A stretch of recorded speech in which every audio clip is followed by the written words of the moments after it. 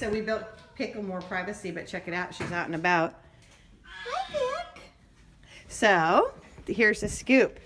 She vomited last night at some point. Hi, Pick. Oh, she's scared of the phone. I don't want to stick it in her face. She vomited at some point last night. So, um, we're going to, uh, we uh, obviously gave her more food and boom. So that's good. Um, she maybe she overate or something.